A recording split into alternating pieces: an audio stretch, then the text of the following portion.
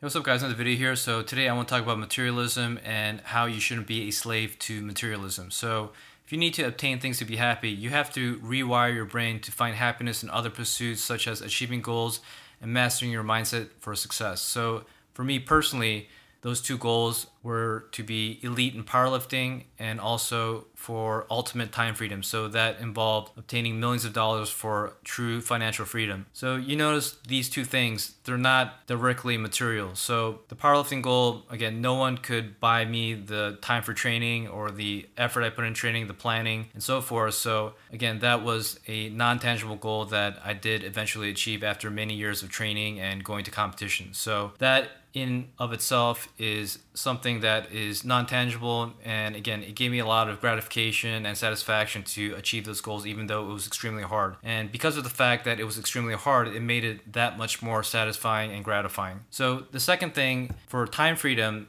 again, I had to do lots of careful planning, risk taking, investing to obtain these millions of dollars. So that also itself is not a tangible object that I'm trying to get. So time freedom, again, that's relative to whatever your goal is. It may be different if you're in another country or the cost of living is not as high, but in my case, I need to have this X amount of money to obtain time freedom and have enough automated income to live. It goes hand in hand, right? So if you have, if you're not a materialistic person and you don't need to acquire all these objects for just daily living, then it's going to be in line with your goals of not being materialistic. It's a double edged sword to your benefit. So, number one, you're not getting excessive things, and number two, you're obtaining a large amount of wealth. So, you ultimately have time freedom. So having the success in sport and having the success in having ultimate time freedom, those both are non-tangible things. So finding happiness in material things is very fleeting and will be short-lived. According to hedonic adaptation, it has been observed that the tendency of humans is to quickly return to a relatively stable level of happiness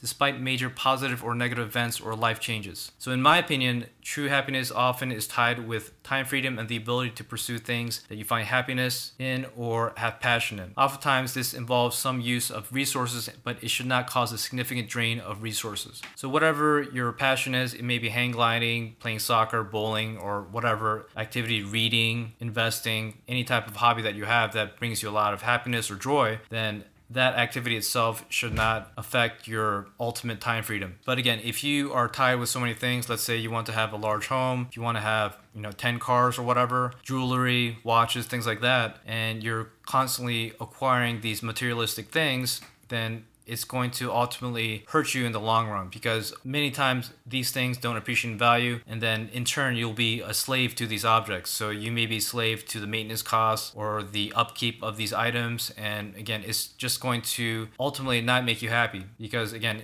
tying yourself to material things and tying your self-worth and self-esteem, your value to material things ultimately is not the best way to live. That's going to tie with my last point. But anyways, you'll hurt your financial future if you heavily pursue material things that will not appreciate in value. So most of you will have limited earning potential and these hard-earned dollars should not be taken lightly. They must be put to work instead of being flushed down the toilet to buy things you can't afford to impress people that you don't know. That goes in line with my advice of buying appreciating assets. Oftentimes these objects that tend to bring you fleeting happiness will oftentimes uh, depreciate in value. So when you're really young and you try to go after these objects that depreciate in value, it's going to ultimately hurt you because down the line you won't be able to obtain a greater value for them. So it's really important that you don't fall in the trap of trying to impress your neighbors, the Joneses, or whoever else that you're trying to one up because ultimately it's going to hurt yourself in the end. And you have to keep in mind that the people purchasing these objects, they themselves uh, may be in massive debt, so you don't know the true picture. So very few people tend to buy these objects in cash, so they have to finance them, and ultimately, you know, they're hurting themselves, and you're hurting yourself trying to catch up with people that are incredibly indebted to these objects. So lastly, you cannot carry any of these material things when you pass. So it's best to obtain non-tangible assets that can continue to contribute to either descendants or causes that you believe in when the inevitable occurs. So naturally, when you have a purpose-driven life where you're accumulating assets and these assets grow in value, then ultimately they can be used for another purpose outside of yourself. So if you're just self-serving and you try to get assets that depreciate in value and you're a slave to materialism and you are a slave to these objects, ultimately you're going to be left with nothing or not much where, you know, it can't leave you a legacy of you trying to help others or trying to better society. So, you know, it's really important that you learn not to be a slave to these objects. And once you do free yourself from materialism, your assets will grow tremendously. And again, these assets can be used in the future for other projects, for the betterment of other people. So it's not so self serving. That's the message I'm trying to come across here. So you shouldn't be a slave to materialism. Do not identify your self worth, self esteem, your value to obtain certain objects because ultimately you'll be the slave of these objects. And that's not the way you should be living life. You should be living life to achieve goals that are personal and that can bring you success and ultimately use that success to benefit others after you pass. So, anyways, thanks guys for listening to the video. If you are interested in my book, please check out the Amazon link below. It describes how I became a multimillionaire at age 35 by only having a salary income of 40k to 81.5k from the ages of 22 to 35. Goes over income, expenses, and more importantly, investing. So that's it, guys, and stay tuned for the next video.